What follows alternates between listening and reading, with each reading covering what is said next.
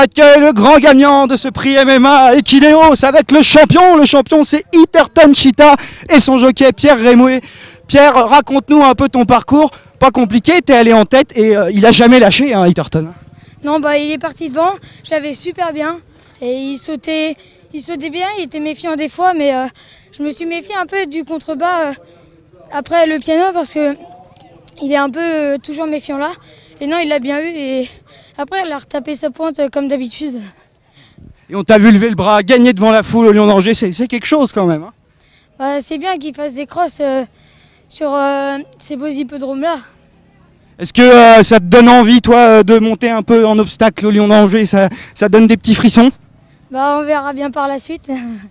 En tout cas, bravo. Pierre, c'est ta combienième victoire aujourd'hui? Là aujourd'hui, c'est ma 32e victoire. La 32e victoire, Pierre Rémoué, champion des poneys avec Iterton Gita, gagnant de ce grand cross MMA Equideos au Lion d'Angers. C'était maintenant.